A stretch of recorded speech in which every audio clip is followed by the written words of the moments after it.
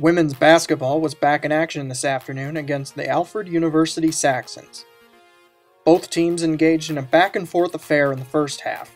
Portia Velasco picks up a steal here and drives in for the layup.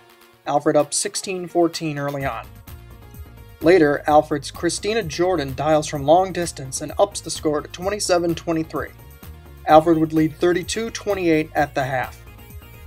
The tight battle continued in the second half as Jordan hits another three to put the Saxons up 50 to 47 with 8 minutes left. But the final minutes belong to the Cardinals as they immediately answer with a lay in from Megan Soja off a pass from Portia Velasco, 50 49 Alfred. Just over a minute to go, game tied at 58. Cameron Buckner finds Velasco, who drives in and gives Fisher a 60 58 lead.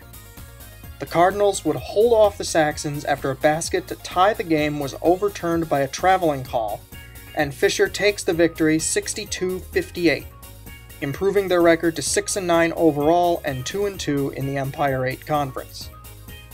Fisher returns to action on Friday, January 20th, when they travel to Oneonta, New York for a matchup with the Hartwick College Hawks. We just had to come out with strong intensity, and they really got to us. In the first half, we weren't playing our game. We were letting them control the tempo, and we knew in the second half we just had to play our stuff, run our stuff, and get open shots just like we've been working on all season. Men's basketball hosting Alfred in the nightcap, and the Saxons would take control early on. Derek Lewis makes his presence known early on with a block off a Jordan Gettings shot. At the other end, Lewis picks up the loose ball and lays it in for two. Lewis scored 12 of Alfred's first 16 points in the contest. Later on, a three pointer from Brett Dennis puts Alfred up 32 25. The Saxons would lead 37 29 at halftime.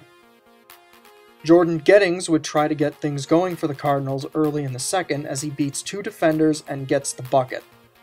But any comeback attempt was thwarted as Sean Curran adds three more to the point total and Alfred picks up a 76 62 win over Fisher on the road.